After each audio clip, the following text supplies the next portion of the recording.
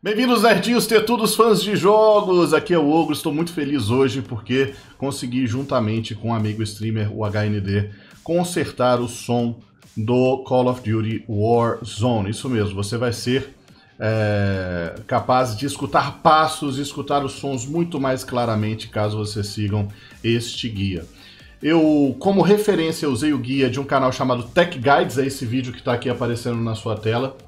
Eu vou deixar na descrição e também vou deixar nos comentários fixos para vocês acessarem, caso vocês queiram o vídeo original em inglês. E também nós fizemos algumas pequenas mudanças, além de cair várias vezes no modo solo e ficar fazendo isso que os caras estão fazendo, que é correr um em direção ao outro enquanto marcado, para que a gente possa perceber a diferença dos sons. Beleza? Então vamos lá.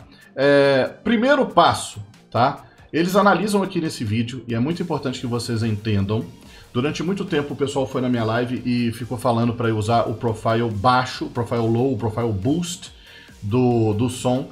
É, é, um monte de gente que viu isso em outros lugares, mas não entende, não tinha nenhuma prova, não tinha nenhum tipo de, de argumento a favor ou contra. Ah, usa, usa boost porque é melhor. Não é melhor. Tá? Nesse vídeo aqui vocês vão ver claramente que os melhores profiles de som são o Home Theater e o Home Theater Dynamic. Você pode testar os dois para vocês verem a diferença. O Boost, sim, ele aumenta o volume dos passos, mas ele aumenta muito mais o volume dos barulhos de ambiente. Então essa compensação não, não compensa, não vale a pena você aumentar os passos, mas o ambiente fazer muito mais barulho, quer dizer que você vai escutar menos os passos. Então o Home Theater e o Dynamic Home Theater são as duas melhores opções. Elas aumentam menos os passos, dá para você escutar mais os passos, claro, mas elas diminuem consideravelmente todo o ruído de ambiente. Então, é, para começar, esses dois setups você vai testar dentro do jogo para ver qual é o melhor para você. Esquece high, esquece low, né, o alto, baixo, neutro, o, o padrão de estúdio, esquece. Home Theater ou Home Theater Dynamic. Eu tenho usado o Home Theater Dynamic, foi o que eu notei que diminui mais os ruídos ambientes. Outra coisa muito importante, agora vocês vão me acompanhar aqui. É... Clica aqui com o botão direito no alto-falante, aqui está meu mouse, alto-falante aqui do lado, na barra de tarefas, do lado direito, configurações de som. E do lado direito da configuração de som, aqui no menuzinho, nós temos painel de controle de som.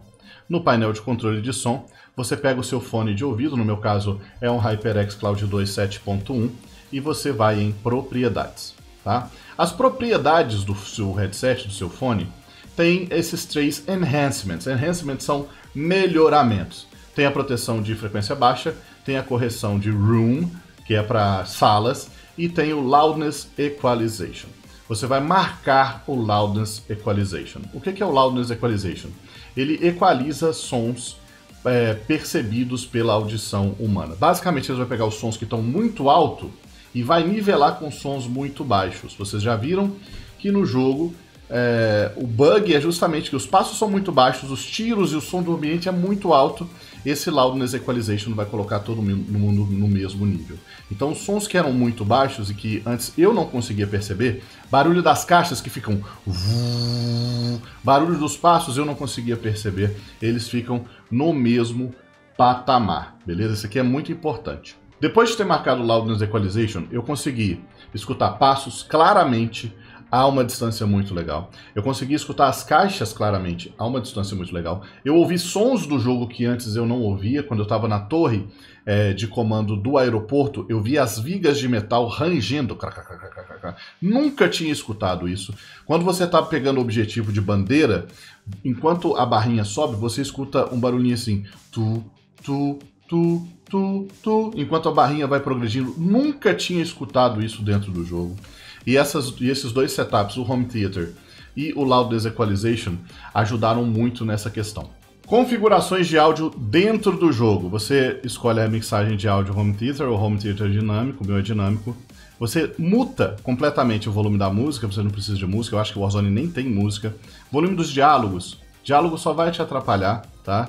É, a escutar os sons, a escutar de onde vem os tiros, né? O cara falando, o gás está vindo, nós temos que escutar. Eu não quero saber, velho, que gás está vindo. Você tem o timer lá, você vai ver ainda o pip, pip do, do gás fechando, não precisa de ninguém falando na sua cabeça. Música do Juggernaut desabilita, volume dos efeitos 100%, volume geral eu só não coloco 100% porque eu preciso gerenciar o volume da live, senão fica muito estourado. Bate-pop de voz por padrão, ele é desativado. É, até esse barulhinho que vocês estão escutando aqui ó, no menu, ó, antes ele praticamente era imperceptível para mim, e agora ele está sendo muito mais é, nítido. E a última coisa que eu tenho para falar com vocês, o meu headset ele é 7.1 e tem o controle do 7.1 aqui no próprio headset. Ele é 7.1 real, não é 7.1 de virtual.